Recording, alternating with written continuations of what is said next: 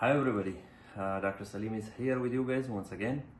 What if somebody asks you a question uh, regarding ultrasound physics or knobology that what is the difference and a function of 2D gain and TGC? Where we can use TGC, where we can use um, 2D gain, like what's the right way to use it. So please do not forget TGC and 2D gain, their function is almost the same, but only it's the different locations.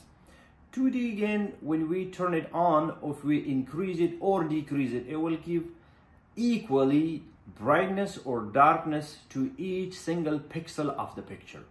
But the TGC time gain compensation that will work on a specific spot of the of the image because uh, as you guys know that we have um, normally commonly we have eight TGCs.